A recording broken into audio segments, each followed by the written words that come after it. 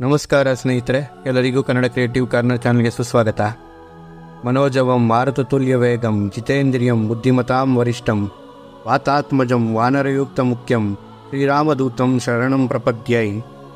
ಮನಸ್ಸಿನಂತೆ ವೇಗವುಳ್ಳವನು, ವಾಯುವಿಗೆ ಸಮಾನವಾದ ವೇಗದಲ್ಲಿ ಚಲಿಸುವವನು, ಇಂದ್ರಿಯಗಳನ್ನು ಗೆದ್ದವನು, ಬುದ್ಧಿವಂತರಲ್ಲಿ ಅತೀ ಶ್ರೇಷ್ಠನು ವಾಯುಪುತ್ರನು ಕಪಿಗಳ ಗುಂಪಿನ ಮುಖ್ಯನು. ಶ್ರೀರಾಮಚಂದ್ರನ ದೂತನೂ ಆದ ಆಂಜನೇಯನ ಬಗ್ಗೆ ನಿಮಗೆ ತಿಳಿಯದ ಸಂಗತಿಗಳನ್ನು ಈ ವಿಡಿಯೋದಲ್ಲಿ ತಿಳಿದುಕೊಳ್ಳೋಣ. ಈ ವಿಡಿಯೋ ತುಂಬ ಇಂಟ್ರೆಸ್ಟಿಂಗ್ ಆಗಿರುತ್ತದೆ. ದಯವಿಟ್ಟು ಮಿಸ್ ಮಾಡದೆ ಕೊನೆಯವರೆಗೂ ನೋಡಿ. ನೀವು ಈ ಚಾನಲ್ಗೆ ಹೊಸಬರಾಗಿದ್ದರೆ ದಯವಿಟ್ಟು ಸಬ್ಸ್ಕ್ರೈಬ್ ಆಗಿ ಮತ್ತು ಬೆಲ್ ಐಕಾನ್ ಅನ್ನು ಒತ್ತಿ. ಹನುಮಂತನು ಭಗವಾನ್ ಶಿವನ ಅವತಾರವೆಂದು ಶಿವಪುರಾಣದಲ್ಲಿ ಹೇಳಲಾಗಿದೆ. ರಾವಣನನ್ನು ಸೋಲಿಸಲು ಭಗವಾನ್ ವಿಷ್ಣುವು ಶ್ರೀರಾಮರ ಅವತಾರವನ್ನು ತಾಳಿದಾಗ ಶಿವನು ಹನುಮಂತನ ಅವತಾರವನ್ನು ತಾಳಿದರು.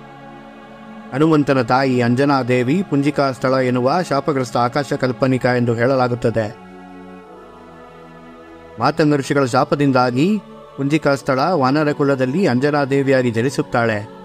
ಪುಂಜಿಕಾ ಸ್ಥಳ ಶಾಪಕ್ಕೆ ಒಳಗಾಗುವ ಸಂದರ್ಭದಲ್ಲಿ ನೀನು ಜೀವನದಲ್ಲಿ ಯಾವುದಾದರೊಂದು ಅವತಾರಕ್ಕೆ ಜನ್ಮದಾತೆಯಾದರೆ ಮಾತ್ರ ನೀನು ಶಾಪದಿಂದ ಮುಕ್ತಿ ಹೊಂದುವೆ ಎಂದು ಹೇಳಲಾಗಿತ್ತು. ನಂತರ ಅಂಜನಾದೇವಿ ವಾನರರ ಮುಖ್ಯಸ್ಥನಾದ ಕೇಸರಿಯನ್ನು ವಿವಾಹವಾದಳು.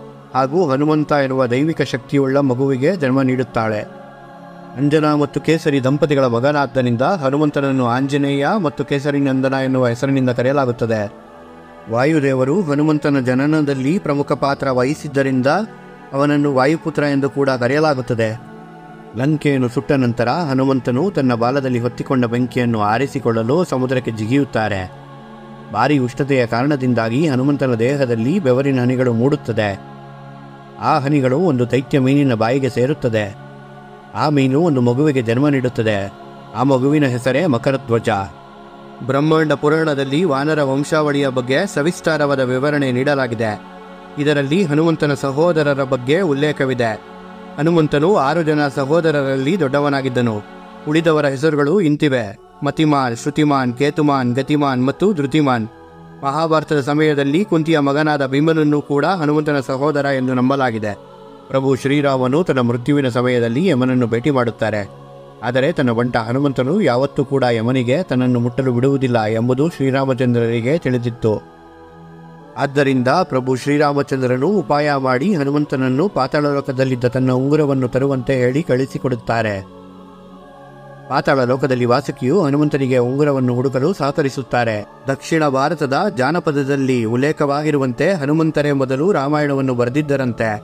ಅದು ಕೂಡ ತನ್ನ ಉಗುರಿನ ಸಹಾಯದಿಂದ ಬಂಡೆಗಳ ಮೇಲೆ ರಾಮಾಯಣವನ್ನು ಬರೆದಿದ್ದರು ಎನ್ನಲಾಗಿದೆ. ಇದು ವಾಲ್ಮೀಕಿ ರಾಮಾಯಣಕ್ಕೂ ಮೊದಲೇ ಬರೆಯಲಾಗಿದೆ ಎಂಬ ಉಲ್ಲೇಖವಿದೆ. ಇದನ್ನು ಹನುಮಾನ್ ರಾಮಾಯಣ ಅಂತಲೇ ದಕ್ಷಿಣ ಭಾರತದಲ್ಲಿ ಕರೆಯಲಾಗುತ್ತದೆ. ರಾಮಾಯಣವನ್ನು ಬರೆದ ಮೇಲೆ ಹನುಮಂತರು ಆ ಕಲ್ಲನ್ನು ಸಮುದ್ರಕ್ಕೆ ಎಸೆದಿದ್ದರಂತೆ. ನಂತರ ಇದು ತುಳಸಿದಾಸರಿಗೆ ಲಭ್ಯವಾಯಿತು ಎನ್ನಲಾಗಿದೆ. ಪುರಾಣಗಳ ಪ್ರಕಾರ ಹನುಮಂತರಿಗೆ ನಾಲ್ಕು ಜನ ಗುರುಗಳಿದ್ದರಂತೆ. ಇವರಿಂದ ಹನುಮಂತರು ಶಿಕ್ಷಣ, ಒತ್ತು, ವಿದ್ಯೆಗಳನ್ನು ಕಲಿತಿದ್ದರಂತೆ. ಅದರಲ್ಲಿ ಮೊದಲನೆಯ ಗುರು ಸೂರ್ಯದೇವ, ಎರಡನೆಯ ಗುರು ನಾರದ, ಮೂರನೆಯ ಗುರು ಪವನದೇವ, ನಾಲ್ಕನೆಯ ಗುರು ವಾತಂಗ ಮಹರ್ಷಿಗಳು. ಎಲ್ಲ ದೇವರು ಹಾಗೂ ದೇವತೆಗಳಿಗೆ ವಾಹನ ಇರುವ ಬಗ್ಗೆ ನಾವು ಕೇಳಿದ್ದೇವೆ. ಆದರೆ ಹನುಮಂತನ ವಾಹನದ ಬಗ್ಗೆ ನಿಮಗೆ ಗೊತ್ತಿದೆಯಾ? ಹೌದು, ಹನುಮಂತನಿಗೂ ವಾಹನ ಇದೆ. ಆದರೆ ಅದು ನಮ್ಮ ಕಣ್ಣಿಗೆ ಕಾಣಿಸುವುದಿಲ್ಲ. ಹನುಮಾನ್ ಸಹಸ್ರನಾಮ ಸ್ತೋತ್ರದಲ್ಲಿ ಇಪ್ಪತ್ತೆರಡನೇ ಪದ್ಯದಲ್ಲಿ ವಾಯುವಾಹನದ ಬಗ್ಗೆ ಉಲ್ಲೇಖ ಮಾಡಲಾಗಿದೆ. ಹಾಗೆಂದರೆ ಆ ವಾಹನವು ಗಾಡಿ ಎಂದರ್ಥ ಹನುಮಂತನು ಒಂದು ಸ್ಥಳದಿಂದ ಮತ್ತೊಂದು ಸ್ಥಳಕ್ಕೆ ವೇಗವಾಗಿ ಹೋಗಲು ವಾಯುವನ್ನು ವಾಹನವಾಗಿ ಬಳಸುತ್ತಿದ್ದರು. ಹನುಮಂತನು ತನ್ನ ಗುರುವಾದ ಸೂರ್ಯದೇವನಿಗೆ ತನ್ನ ಗುರುದಕ್ಷಿಣೆಯನ್ನು ನೀಡಲು ಮುಂದಾದನು.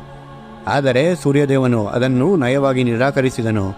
ಆದ್ದರಿಂದ ಹನುಮಂತನು ತನ್ನ ಕೃತಜ್ಞತೆ ಮತ್ತು ನಮಸ್ಕಾರಗಳನ್ನು ಅರ್ಪಿಸುವ ಮೂಲಕ ತನ್ನ ಗುರುಗಳಾದ ಸೂರ್ಯದೇವನಿಗೆ ಗೌರವಿಸಲು ನಿರ್ಧರಿಸಿದನು. ಪ್ರತಿದಿನ ಆಕಾಶದಾದ್ಯಂತ ಸೂರ್ಯನ ಚಲನೆಯನ್ನು ಅನುಕರಿಸಿದನು. ಹೀಗೆ ಸೂರ್ಯ ನಮಸ್ಕಾರವು ಹನುಮಂತನ ಗುರುದಕ್ಷಿಣೆಯಾಗಿ ಹುಟ್ಟಿಕೊಂಡಿತು. ಒಂದು ದಿನ ಹನುಮಂತನು ಕುತೂಹಲದಿಂದ ಸೀತಾಮಾತೆಯ ಬಳಿ ಬಂದು, ಮಾತೆ, ನೀವೇಕೆ ಕುಂಕುಮ ಅಥವಾ ಸಿಂಧೂರವನ್ನು ಇಟ್ಟುಕೊಳ್ಳುತ್ತೀರಾ ಎಂದು ಕೇಳುತ್ತಾನೆ. ಆಗ ಸೀತಾಮಾತೆಯು ತನ್ನ ಗಂಡ ಎಂದರೆ ನಿಮ್ಮ ಯಜಮಾನರ ಆಯಸ್ಸು ಹೆಚ್ಚಾಗಲೆಂದು ಎಂದು ಪ್ರತ್ಯುತ್ತರವನ್ನು ನೀಡುತ್ತಾಳೆ. ಇದರಿಂದ ಹನುಮಂತನು ಪ್ರಭಾವಿತನಾಗಿ ರಾಮನ ಮೇಲಿನ ಪ್ರೀತಿಯಿಂದ ಸಿಂಧೂರವನ್ನಿಟ್ಟರೆ ನನ್ನ ಸ್ವಾಮಿಗೆ ಸಂತೋಷ, ಆಯಸ್ಸು ಹೆಚ್ಚಾಗುತ್ತದೆ ಎಂದು ತಿಳಿದು ನನ್ನ ಸಂಪೂರ್ಣ ದೇಹಕ್ಕೆ ಸಿಂಧೂರವನ್ನು ಹಚ್ಚಿಕೊಳ್ಳುತ್ತಾನೆ.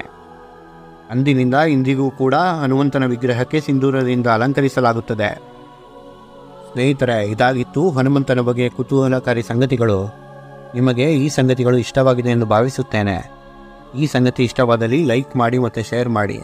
ನಿಮಗೆ ಈ ಚಾನಲಲ್ಲಿ ಬರುತ್ತಿರೋ ಎಲ್ಲ ಕಂಟೆಂಟ್ ಇಷ್ಟ ಆದರೆ ದಯವಿಟ್ಟು ಸಬ್ಸ್ಕ್ರೈಬ್ ಮಾಡಿ. ಸ್ನೇಹಿತರೆ, ಇನ್ನಷ್ಟು ಕುತೂಹಲಕಾರಿ ಮಾಹಿತಿಗಳನ್ನು ಹೊತ್ತು ನಿಮ್ಮ ಮುಂದೆ ಬರುತ್ತೇನೆ. ನಮಸ್ಕಾರ, ಈ ವಿಡಿಯೋವನ್ನು ಇಲ್ಲೇ ಮುಗಿಸೋಣ. ಜೈ ಹಿಂದ್, ಜೈ ಕರ್ನಾಟಕ ಮಾತೆ.